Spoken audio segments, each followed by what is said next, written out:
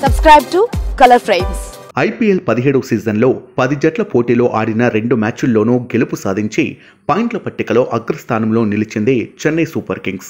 ఐదు సార్లు చెన్నైను ఛాంపియన్గా నిలిపి కెప్టెన్కు పర్యాయపదంగా మారిన ఎంఎస్ ధోని ఐపీఎల్ రెండు వేల ఇరవై నాలుగు ప్రారంభానికి ఒక్కరోజు ముందు నాయకత్వ బాధ్యతలను ఋతురాజ్కు అప్పగించి అందరికీ షాక్ ఇచ్చాడు. ఇప్పుడు ఈ జట్టు తరపున న్యూజిలాండ్ ఆటగాడు రచన్ రవీంద్ర అద్భుత ప్రదర్శన చేస్తున్నాడు. ఆడిన రెండు మ్యాచ్ల్లోనూ తనదైన ముద్ర వేశాడు. కానీ గుజరాత్తో జరిగిన మ్యాచ్లో ఫీల్డింగ్ చేస్తూ ఒక క్యాచ్ను డ్రాప్ చేశాడు.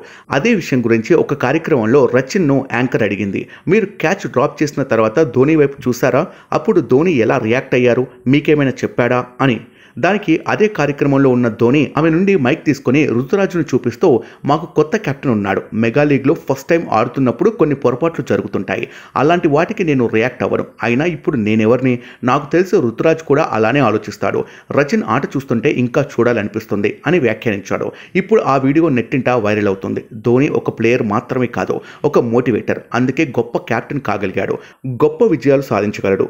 తప్పుల్ని పట్టించుకునేవాడు కాదు ధోని అంటే. తప్పుల్ని తెలివిగా సరిదిద్దేవాడు. అందుకే ధోనితో ఆడాలని ధోనితో ఉండాలని అందరూ కోరుకుంటారు. ఈ వీడియో మీకు నచ్చినట్లయితే ప్లీజ్ లైక్ చేయండి షేర్ చేయండి కామెంట్ చేయండి.